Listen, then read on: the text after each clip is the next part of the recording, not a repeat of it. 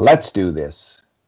The Cult of Hockey podcast by the faithful and for the faithful in oil country and around the world. I'm David Staples of the Edmonton Journal, and I'm here tonight with Bruce McCurdy. Hey, Bruce.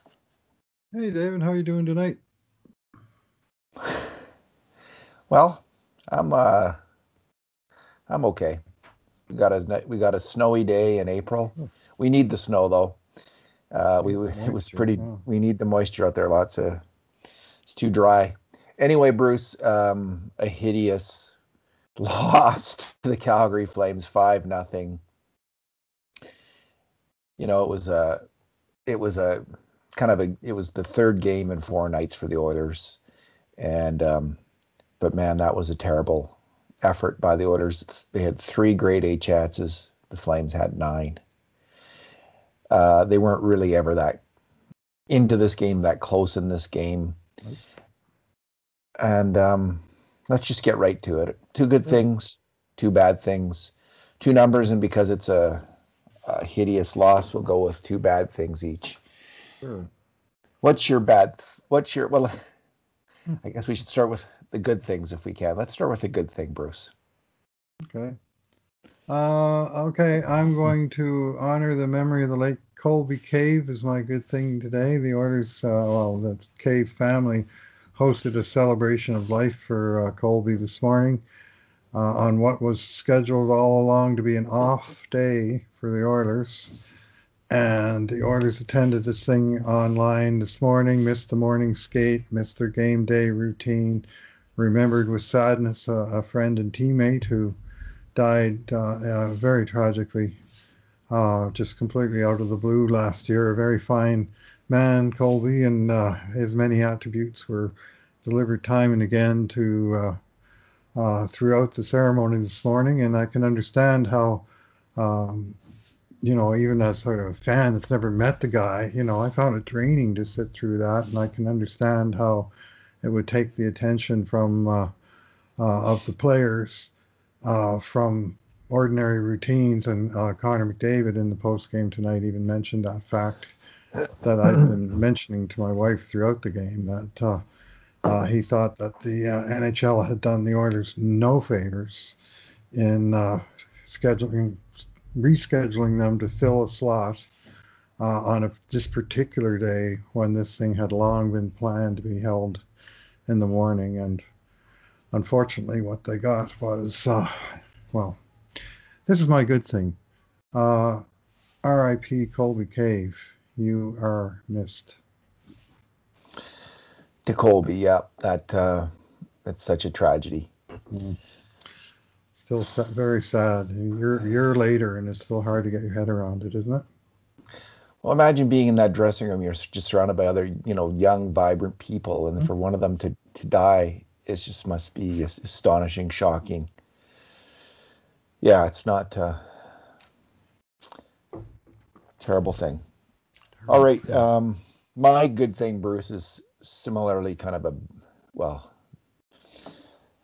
The the Oilers needed. I think they they they're they're a team in need of a reality check. Mm-hmm. In that they've been winning a lot of games, Bruce, but they've been doing it on fumes.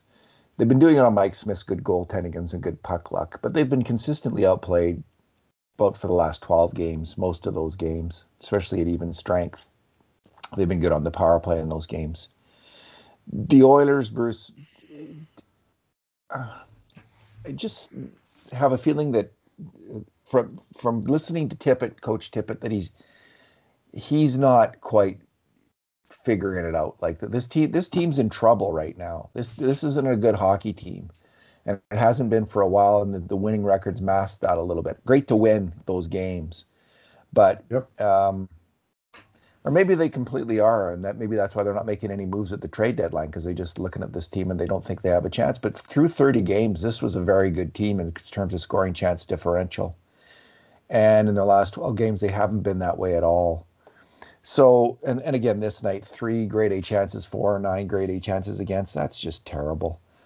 And so I think this is a wake up call. Like if, if Holland was thinking this team is going to compete in the playoffs. This this I don't think this team is. And if Tippett's thinking, well, I'm I'm trying everything. I don't think the coach is trying everything, and uh, he's got to he's got to figure out some forward lines. You know, other than Leon Draisaitl, Connor McDavid has chemistry with no one essentially right now. Um, the line of Kahun, Yamamoto, and Draisaitl has been tried all year long, Bruce. It ain't working. It's not moving the, the needle uh, consistently. They've been they've had a pretty decent goal share, an okay goal share, but I think it's uh, uh you know, I think it's some Leon's good shooting and skillful play that drives a drives a lot of that, and it's it's him. It's it's a one you know it's one man right now, and it's McDavid on the other line. So it's just not working. What whatever Tippett's doing on the top lines, I'm not going to get into solutions tonight, but there's you know the trade deadline's coming up. There's players in the AHL they can call up. There's there's internal moves they can make. I think this is a, this should be a wake up call for Tippett and Holland to think hard about this team heading into the playoffs because this is a this this is isn't it this is a good team in a lot of ways. But they've got to they've got to crack this code and they're not even coming close right now. So my good thing is is that that was the message. You can make a lot there's all kinds of excuses about the loss in the game and some of them are are just you know they're fair justified excuses. But nonetheless this isn't just tonight this has been ongoing. So wake up What's your bad thing? yeah, well, I kind of alluded to it already, but I, I, will go back to it because I think this was central to what happened here tonight. This is twice in the last two weeks that the Oilers have had an Eastern road trip of uh, of multiple games, where at the end of the road trip they suddenly had an extra game added on because of illnesses that happened on other teams. Nothing that happened to the Oilers, but they're paying the price for and they had to go back into Montreal at the end of that earlier road trip where they spent a week sitting around Montreal because the Canadiens were sick. And they went back into Montreal and they had nothing. Uh, that was a three and four night situation. And on that night, they got shut out four nothing. They had 17 shots to 32 by the Habs. Uh, they had, I think it was two to 17 were the grade A scoring chances. So we'll call that yeah. one the worst game of the season. Yeah. And in that game, they had, of their 17 shots, seven were by forwards, 10 by defense. So they weren't even, you know, getting penetration to even generate anything resembling a good look on net. Well, this time around, uh, they had they actually had a really good schedule set up. It was Monday, Wednesday, Friday, home for two days off, play Monday, Wednesday, two more days off, and then go on the road. Now all of a sudden they had stuff an extra game in on the Saturday. Now they wait a week for Vancouver to come back, and now they have to when they come back they have to play Friday and Friday here, Saturday in Winnipeg, and more, you know, tough slogging. I think there's another four and six out of that that's coming up. So anyway, tonight uh, almost the exact same thing. They were outshot identical 17 4, 32 against. 17 shots in the game. Tonight they had eight shots from forwards, nine from defense. Six forwards with zero shots in this game, just as there were in Montreal. And again, just no no life, no mm. zip, no penetration. And and you can say, well, they need to be professional about that. They got to be better about that. And and you you have a point, but at the same time, uh, I think, you know, you connect the dots. The exact same thing happened twice, and the team responded the same way twice. They had nothing in the tank. Like I, I have a lot of trouble sort of even blaming players for playing poorly tonight, especially when you heap on the sort of extra dose of that uh, uh, that memorial service this morning. You know, and uh, I think McDavid had a darn good point when uh, he spoke up about it a little bit, and cleared his throat in the in the uh, in the post game. And I guess I mean the NHL got their wish of filling the dark hockey night in Canada late slot, but they sure didn't fill it with anything resembling entertaining hockey. This was a brutal hockey game. Yeah, the announcers were struggling to make it sound at all interesting. Although Kelly even, even seemed... the pro Calgary announcers were kind of trying to uh, trying to find reasons to go soft on Edmonton and yeah, Kelly Hrudey sounded pretty excited at times. Um, Bruce, my bad thing is Tyler Ennis. He is has been all year the Oilers forward most likely to make a major mistake on a grade A chance uh, against, and I think tonight we saw a couple examples of it on goals. Um, I think it's this. We'll start with the the second goal, and um, which one was that? Uh, that's not the okay. The, there's the Geo goal. Oh, okay. This is the one where Calgary bursts into into Edmonton's end, and it's got a um, it's basically a three on three at that point, and the two defensemen are Oilers defensemen are on their men, and Ennis is in the kind of the high slot area. But instead of shoulder checking, he's he's puck watching, and he doesn't see Backlund, the third Flames man, coming into the zone. And he's just when Backlund gets the pass, Ennis is is like 15, 20 feet away from him. He Backlund is so wide open on that play. So instead of Ennis like checking, going to cover that man and cover off a pass to him, he's just kind of standing there. And then the the the pass goes over to um, to Hanifin, and um, I'm sure that I think it was Hanifin, yeah, who who goes in and goes cross seam to Gaudreau, and um, goal scored. So that's that's just one example. Then the next time, um, it's the next one. It's uh, the fourth goal. Let me just look for it here, Bruce. Sorry. That was Geo's goal, isn't it? Geo's goal. And he is again just kind of standing there 15 away 15 feet away from Giordano and lets him go right down the wing. You know, it's his man and he just lets him cruise right in there, right and and score. So, I don't know, you know, I think you can do a little bit better than that. And it's typical of Ennis's defensive play this year, unfortunately. Big fat minus two to show for it, and uh, the, his line with uh, Puljujarvi and McDavid, defensively, their structure was very poor, and uh, neither winger was really where he belonged for chunks of time. And McDavid, I mean, McDavid is McDavid. Sometimes you'll see, like there was one play where he made an absolutely brilliant defensive stop where he came out of nowhere to take away a great scoring chance. But there's other times that he's just not where he should be, or what have you. But uh, they just weren't focused. And, you know, again, we can talk about what the reasons for that was. But they, the, the team collectively, like their defensive structure was poor. Their execution of breakouts was poor. Their ability to get the puck over their own blue line or get it over center and get it deep was poor. And uh, behind all that, their goaltending was poor. So, you know, like the Geo shot, I mean, it was sort of a nothing chance for Giordano until it leaked through and into the net. You know, I mean, Mike Smith had an off game too. Yeah, McDavid. It was McDavid was on the on the second goal. He could have, you know, been covering Gaudreau, but but he was not, and um, that was part of it.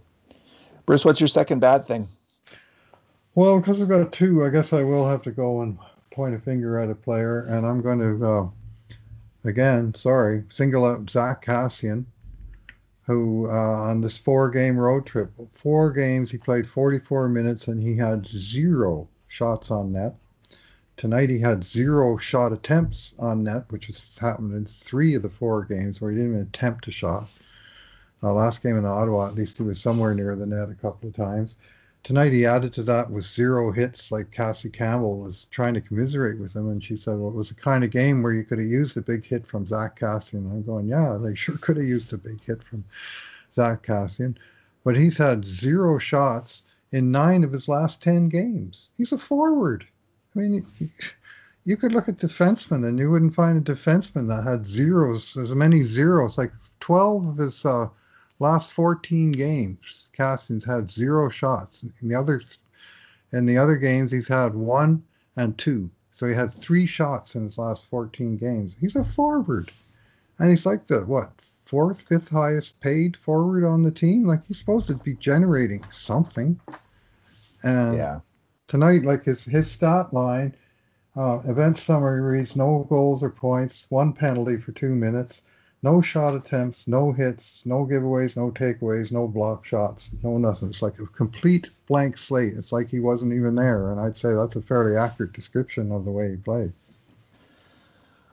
Bruce, he is playing so poorly, he deserves to be waived or sent to the AHL at this point. I mean, I don't think he won a battle all night. And um, I, I, guess I'm kind of tired of hearing, well, if, if, only the crowd was there. Well, the crowd hasn't been there for some time. And the players have to, you know, if, if you're a professional athlete, you have to adjust. And he is not, he has not adjusted.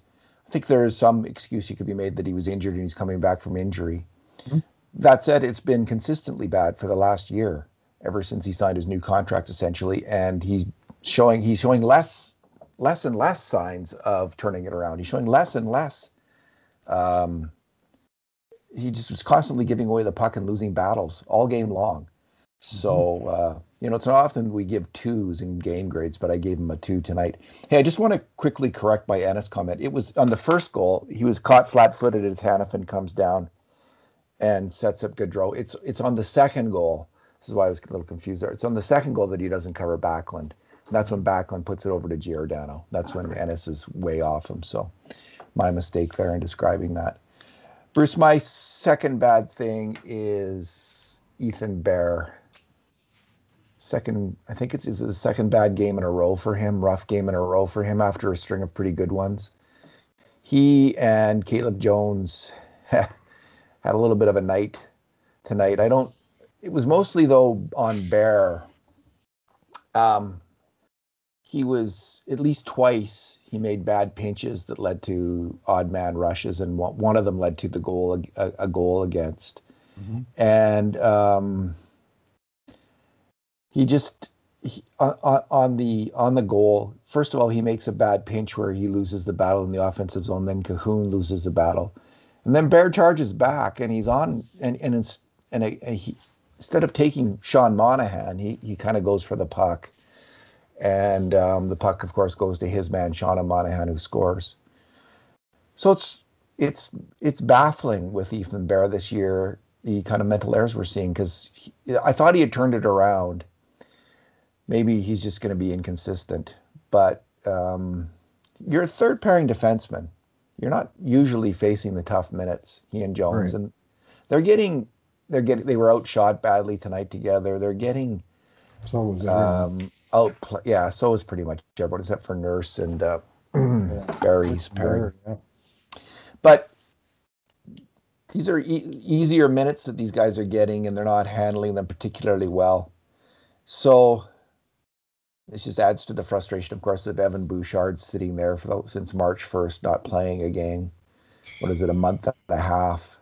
You couldn't find a game to get Evan Bouchard in there in that whole month and a half, like tonight, maybe. You know. Um, tonight they finally had, like, for a while there, he's been locked out, right? Because they've had no way to get him off the taxi squad and in the lineup. But after they waived Turris on uh, um, Thursday morning, was it fr- Friday morning? and after they put RNH on uh, on injured reserve, which I think is short term, but for tonight, that opened up two spots, and they got they got Tyler Ennis and James Neal in at least to get a game because on Monday that all changes, and and they won't have near the flexibility of using the taxi squad as they did before. So, good idea to get those guys a game, but it could have been Evan Bouchard that got a game, and the way I mean, geez, they might as well put Alex Stalock in that tonight. I mean, the way this game was, that uh, it was um, one where where Bouchard maybe could have got some ice, but at some point they're going to have to put him in, aren't they? You'd think, Bruce, but and couldn't he? Well, he surely could have surely could have played better than Ethan Bear played tonight, but I mean, you never know heading into the game.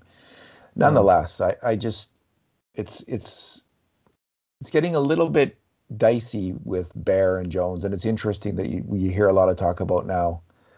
Edmonton looking to pick up a defenseman at the trading deadline. That's something that hadn't been coming up at all all year long. Wasn't any no one ever talked about that. And yeah. suddenly in the last two weeks, all the kind of the team insiders are starting to put these hints out there.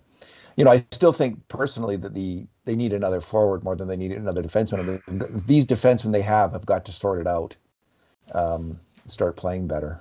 Well, the three young guys they got playing third pairing, and the fourth young guy that isn't playing at all, you know, they're all struggling. They're all struggling. Like Bear, Jones, Lagesson. None of them, you know, Bear had a nice run of maybe four good games in a row here a while back after having a couple of real, real bad nights. And now he's had a couple of bad nights again. And Jones is having trouble getting traction, and Lagesson uh, had it going on for a while, but he was running uh, hot on percentages, and that caught up with him in his most recent run of games. And, and there's nobody that seems to be stepping up and saying, I'm grabbing this third pairing job. certainly not on the left side. It wouldn't surprise me at all if they picked up a left defenseman. Yeah. Well, that's what they're talking about because they mm-hmm. they don't need another right one. Yeah. Yeah. Yeah. Yeah, Bear just got off on the wrong foot. Like early in the game, he's at center ice and he gives the puck away, and they go in there, and Giordano gets a good shot from the slot. It's just, it just seems like it's uh, one thing after another. If it, things start to go poorly, they don't seem to be able to snap out of it too well. Bruce, what's your number? Uh, well, I was going to go with zero, but I think I said zero so many times during the podcast. I'm going to switch gears and I'm going to go positive. I'm going to say something positive. So my number is five and that is number points Edmonton took from this four game road trip to Montreal, Ottawa, Ottawa, and Calgary, four and six nights. And anytime you come back from a lengthy road trip, especially one that takes you, you know, time zones away, with more points than you have games played, that's a positive thing. So bank those five points, you know, however you got them. And it wasn't pretty. I don't think any of those games was particularly pretty from the Oilers' perspective, but uh, they they. Uh, uh, they were able to get a result from the first three games, and tonight was a throwaway. So let's treat it as that, and let's note the fact that you know what could have been you know oh three and one road trip or something that really would have uh, uh, put them you know knocked them down the charts a bit is uh, a pretty acceptable result overall. Here's uh, McDavid's quote that you were refer- referencing earlier, uh, Bruce. Okay. He says, quote, You're asking a lot from guys to sit through something like that. Remember your teammate. See what the whole family is going through and be expected to perform that night. I'm not sure what the league was really thinking there. Unquote. Yeah, so well said, Connor McDavid, yeah, and good for speaking right. up. He is right. Yeah, that's. They a, didn't that's have a, many options. I mean, if they wanted to fill the late game, that you know, I mean, it was supposed to be Vancouver and Calgary, but, but uh, Vancouver wasn't available, and the other four teams were all playing scheduled games at the, in the five o'clock slot. But uh, with that celebration of life scheduled in there, it was a tall ask, and and uh, uh, unfortunately, what they got wasn't a very entertaining product. All right, my number, Bruce, is I just want to highlight the problems with the Oilers' attack because I think that that really is struggling right now, mm-hmm. and um, so the through the first 30 games, the Oilers averaged 12.8 grade A scoring chances per game, 12.8 per game. In the last 12 bursts, they've averaged 7.8. That's a hmm. drop in five grade A chances per game in the last 12 games. And uh, I just, I just really do think that this is, this is, this is a coaching staff that has to think hard about what what they're doing with their top lines, and um, thinking. Also, think. Go ahead all situations, right? That's like power plays and everything. That, that that's all situations. Right. Yeah, that includes power plays where they've actually still been won a game that they tend to be well, getting. Yeah, they weren't very good tonight, but but the power play, at least when it's out there, has been clicking, and and they they have an advantage. And you can say, well, things are just tightening up, but at the same time, as uh, you know, they were in the first 30 games, they gave 10.2 grade A chances against, and now they're at 10.9 grade A chances against in the last 12 games. So it's not just a matter of things tightening up and everyone getting less grade A chances. This is a, this is this is what's going on with the orders, and this is why we're doing this. This is why part of why we do this scoring chance work is to see trends like this. So early in the year, when people are upset and worried about the team, we can say, "Hey, you know, look at you know, yeah, they're losing, but they're consistently outchancing the opposition. This is a good team. There, you can this team's going to win, and that's what we said, and that's what happened. And right now, I'm saying, you know, you know, these, we're not just doing this work to be positive about the Oilers all the time. It's to give us an idea of what what is their real performance in a game.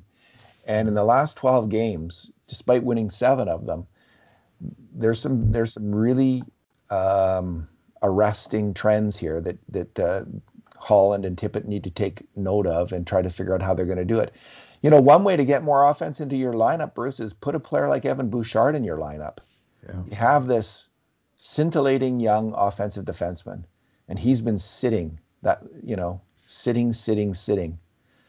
Maybe think about that. Is that really the right idea? Are you are you being way too conservative? Which you know, I'm, and these are rhetorical questions. Obviously, I think that they're being way too conservative at this point, and they need to play that player. And they need to. I think they need to try to, if they can, figure out a way to get a player, an offensive player, um, at the trade deadline. That should be their priority, not another defenseman. They've got lots of defensemen. Just start playing. Maybe start playing Evan Bouchard. You've got a defenseman. Just give him a try. So Bruce, we're hearing some names. Jim Matheson of the Journal talked about uh, Rickard Rakell mm-hmm. um, of the Anaheim Ducks as a possibility for the Oilers, and of course Taylor Hall has been rumored a uh, little bit since ten minutes after he left Edmonton. exactly, it's been unrelenting. It has. Uh, we we can't get enough of it. We cannot get enough of it. And I, Bruce, you know, I've had enough of it on Oilers now, Bob Stauffer's been saying this isn't going to happen, right? It's he's been clearly telegraphing the Oilers. I think he said maybe a one in a thousand chance or something like that. And I, and I I accept that as true unless you know unless Buffalo's price drops to like I don't know like a second round draft pick. Um, uh, I don't see that. I don't see it happening. But anyway, what do you think of Rakell? Because he's got a year left on his contract, I believe. Yeah, uh, I know this player pretty well because I had him in my keeper league for a number of years. Yeah. And he was a real good performer. He had to back to back seasons of 33 and 34 goals in Anaheim. But those seasons were back in 2016 17 and 17 18. And since then, he's dropped from 18 to 15. And this year, just seven goals in 37 games. And he's just, you know, he's lost whatever scoring touch he's had. Like his his production goals per game production rate has basically been in half in the last three years than it was in the prior two years. And I haven't seen a lot. I, I haven't seen Anaheim play a game this season, to be honest with you. But uh, uh, I haven't seen a lot of them in, in uh, or a lot of him in the last couple of years, other than games against the Oilers, where he used to be a constant threat. So and he's also gone, and again, this is always a grain of salt um, figure, but he's gone from, you know, plus 10, plus six, those two big years, to minus 13, minus five, minus nine. Like he's, uh, but of course, the team is worse, so that's got a lot to do with that. But still, he's, his, his overall boxcar stats have taken a tumble. And so the question is, which Rickard Rakell are you getting? Uh, Matty said in his tweet, this was one key item that he'd been out of the lineup for uh, the last 10 days to two weeks, I think, with some kind of a head issue that was rumored to be a possible concussion. But apparently he's through that, according to what, what, uh, what Jim said, uh, in which case he's a viable trade candidate. And I mean, there's a lot to like about the player. I mean, he's 27 years old. Uh, he's you know middling size. He's a right shot, but capable and happy to play on the left side, which is where the Oilers need snipers, and uh, so he's a, he's an interesting target. Is he worth a first round draft pick? Is he worth a first round tra- draft pick plus more? He's uh, he's under control. He's got one more year and I think it's around three point eight million dollars, somewhere in that range. So uh, he's not free, but uh, you know he's uh, he's not taking in big bucks, and uh, uh, he's a guy, you know, that in, in theory, uh, he could uh, provide a, you know, a, a, shooter that they could put on the top six, and boy, do they need one. So, so this year, Bruce Rakell is 157th in scoring for NHL forwards. Um, mm-hmm. Out of I think it's like 415 regular forwards. So that translates 60 five points five, per 60 five, even strength. 60. Yeah, yeah 1.73 okay. per 60. So that's about the same level of scoring as Tyler Ennis. Now I don't know what Rakell is like as a defensive player, but um, that's not terrible. Like that, it's not high. Uh, it's not a top line scoring, but it is second line scoring mm-hmm. uh, in the NHL this year. So even though his point scoring is down this year, you know, and this is a small sample size, and we we're not neither of us are watching this player, so we can't tell. But Taylor Hall is considerably below that. Taylor Hall is like you know, 260th out of 415 415 players. And uh, you know, Taylor Hall is the other name. Here's what Ken Campbell of the Hockey News says about Taylor Hall today. He says, quote, I can't be the only person who believes that Taylor Hall will make almost zero difference to whatever team acquires him, can I? Marginal, marginal upgrade at best. There are at least 15 players for whom I would try to trade at this deadline before him, unquote. So, you know, I can't, I, am not going to comment on Taylor Hall as a player. His point scoring is, is atrocious this year. His power play scoring is atrocious.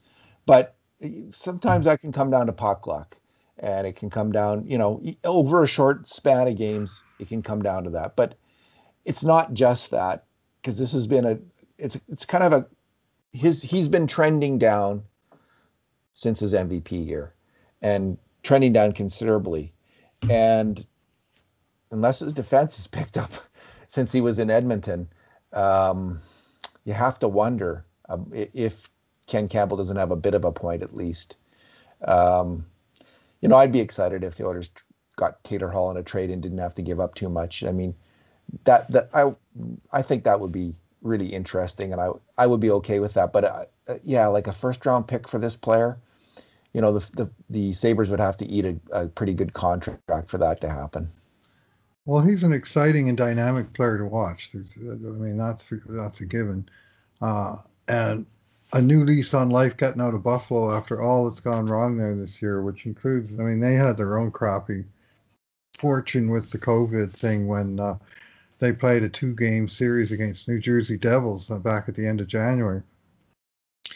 And the Devils were sick coming into the series, and by the end of the weekend, both teams had like massive um, player losses, and the and Sabres didn't play a game for two weeks and since they came back, it's like Hall's been a shadow of himself, and really they've all been like the whole team. What they lose 18 in a row, I think, and they uh, uh, and there's but there's just been no signs of life out of the guy. At least you know uh, from the numbers perspective, there's nothing saying, you know, he's killing it, but he just isn't. You know, it's it's just not there, and it's it's. Even when they finally broke out of the the losing streak and they beat someone six one, I thought that night, aha, I'm going to look in there and Hall's going to have two three points and uh, had a good game, and he was zeros across the board. You know, wasn't even on the ice for a goal. It was, and they they won six to one. It was like just another night where nothing happened from his personal perspective, but you know, it's it he's he's a he's an energetic and emotional player that, like say, a, a, fresh start somewhere and maybe something in Edmonton would spark him. But you're sure rolling the dice. I, I, I don't think there's any any any way you uh, you can look at him as any kind of a sure thing. Yeah, you'd have to. Uh, I mean, again, we're not watching this player, so we can't really say. Are you? Have you? What have you seen him? Did you say? I, I haven't seen him play, so I'm not. I saw. Not yeah, I saw a couple. I will actually watch both games of that New Jersey series. Believe it or not, where the that was a Saturday and Sunday afternoon, and they were both on NBC or whatever in the afternoon, and and uh, I saw bits and pieces of those games, and he was sort of you know sporadically dangerous, but nothing ever came out of it. You know, he'd break into the zone, he'd make a shot or make a decent pass, but you know they wouldn't score and away to go the other way and and often wind up in the net you know it's uh, buffalo is a, a, disaster zone but it's uh, you know it's way more than just him but uh, it's rippled through the whole team you know that uh, i mean we talk in edmonton about uh, uh, the you know, the big three, McDavid, Draisaitl, and Nugent Hopkins making $27 million. Well, in Buffalo, their big three of Eichel, Skinner, and Hall, they make the exact same, 27 million against the cap. Right? Just an absolute huge chunk for three players. And those three players, Taylor Hall has two goals, Jack Eichel has two goals, and where are we now? We're going to go way down here. Jeff Skinner's up to four now. So eight goals for the three of them. The Oilers, $27 million man, have 57 goals. Buffaloes have eight. and it's just chaos and, and catastrophe in Buffalo again. So uh, it's certainly they're certainly going to be sellers. Let's put it that way. And Hall's on a on a one year expiring contract with no particular reason to be loyal to the Sabres and probably going elsewhere. So they're they're going to be trying to move them along. But who knows what they'll get? I mean, a lot of the 200 hockey men would have opinions similar to Ken Campbell, but not all of them. You just need one. You need one to be excited. So, but it doesn't sound like that may not be. They may not be able to find that one. Correct. Hard so, to say. What are you hoping for at the trade deadline, Bruce? If you're completely honest, what would you what would, what would be your preference? Uh, boy, that third pairing defenseman is is tempting, but I think scoring winger.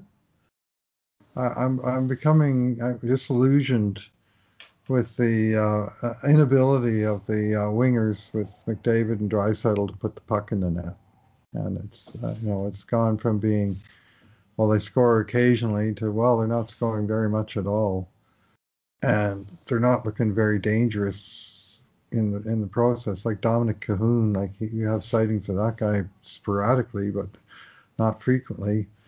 And you know, Kailer Yamamoto, he's a good, promising young player. Needs to work on his shot and, or, and learn how to finish some of his chances. And the same goes uh, probably for Jesse Puljujarvi. And we've talked quite a bit about Ryan Nugent Hopkins' uh, uh, relatively uh, poor season at even strength.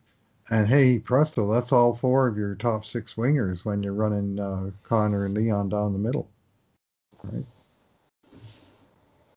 So yeah, it seems like they've run out of ants.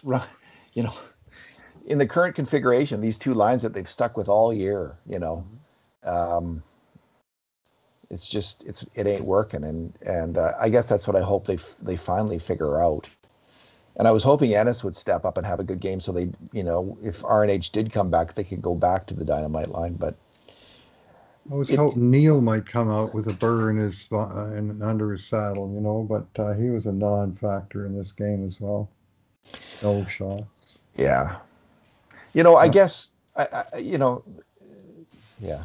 Again, if it was just tonight, we wouldn't be we wouldn't be in this mood or, or making these kind of comments because there was all kinds of extenuating circumstances mm-hmm. especially the Colby Cave Memorial and and um, you know which is a huge factor in tonight's play. There's just no doubt about it. So, alrighty, Bruce. Well, um, there's going to be a. We'll probably have a podcast on Monday. I'm guessing, eh, because of the yeah, trade deadline coming up.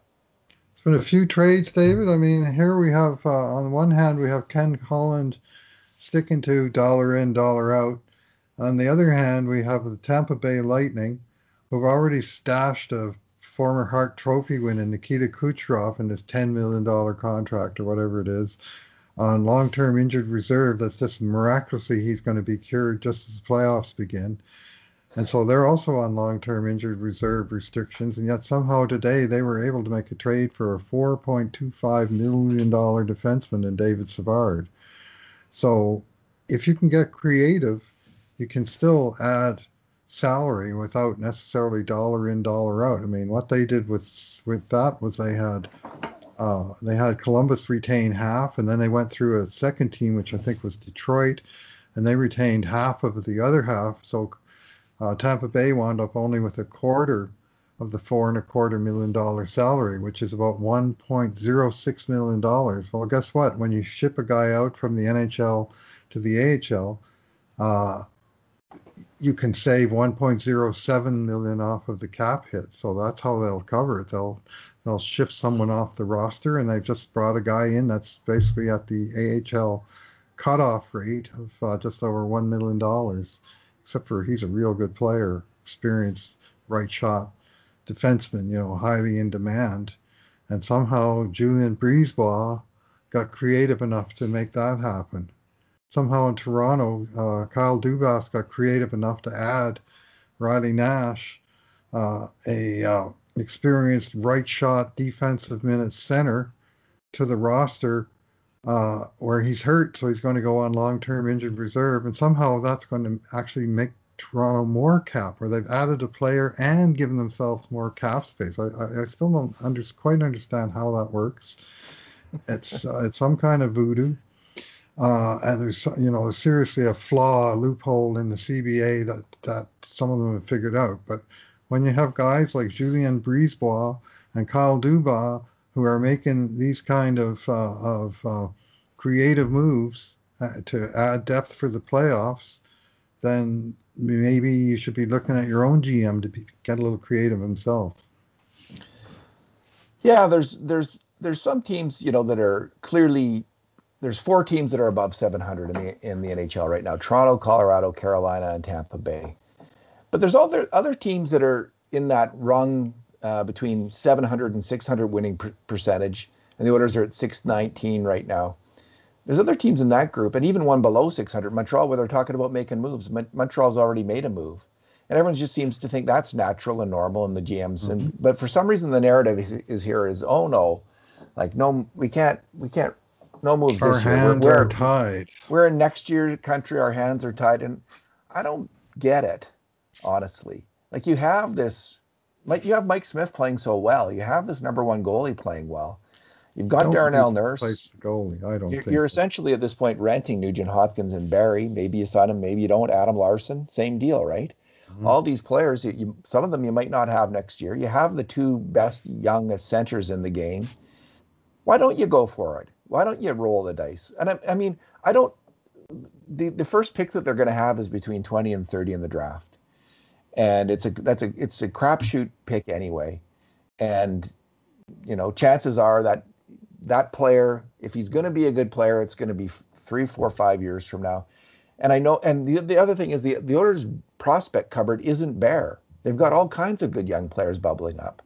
So this seems to me like a kind of a, a good time. Maybe they, you know, and then well, the, we hear about the salary cap. They're just so hamstrung, and then Tampa does what they did, as you say, Bruce. So it's not adding up to me. Maybe uh, Ken Holland is playing poker, as he says, and is uh, and is getting to reveal, going to reveal his good hand. But I'm not buying the whole "it's okay to do nothing" thing. I don't think it's okay to do nothing. I think they should try to improve the team, and I think this is a team that could use some improving. So I hope that happens on Monday. Yeah. Well, so far the most most smoke has been around the uh, uh, Detroit face-off ace, the modern day Jerred Smithson there in yeah uh, in, yeah. Uh, in Detroit. Um, but I don't see that as you know that's an issue, but it's not the issue with this team. Yeah, like it's to talk about. I mean, Jujhar Khaira is scoring like he's a second line center this year, and uh, he's the third line center now. You know they could win more face-offs, all these guys, but Khaira's playing well. Haas is in a bit of a well, he he's not playing that well lately. Um, he had a poor road trip, to my eye. Yeah, he's not playing that well. So I'm not. It's not the perfect position, but they have, you know, between Draisaitl, Mc, McDavid, and Khaira, they're pretty good at one, two, three, if you ask me. And if Haas is the fourth center, that's it's not going to kill you in the playoffs. He's he can he can hold his own. So but what's going on is their top line attacking has collapsed at even strength, unless you put McDavid and Draisaitl together. That's what they got to figure out and fix. That's the priority on this team, and um, I hope they get after it. We'll see. Well, their scoring leaders right now are one, two in the league, McDavid and Draisaitl, but three and four of the team are both defensemen, Barrie and Nurse. Then there's one forward, Nugent Hopkins, piling them in on the power play. It's got 28 points, and then the gap is all the way to 18. And you know, and, there, and then there's, you know, eighth on the team has 11 points. So there's no real depth of scoring there, even still. Alrighty, well, let's leave it there, Bruce. yeah, we'll see what Monday brings, and uh, we'll be uh, we'll be covering that. Uh, on Monday, as will everybody in the hockey world. That's always a, a fun day, the trade deadline, and hopefully there'll be some positive news to report for the Oilers. And in the meantime, and in between time, this has been another edition of the Cult of Hockey podcast. Thanks for listening, everyone. And thanks for talking, Bruce. Uh, R.I.P. Colby.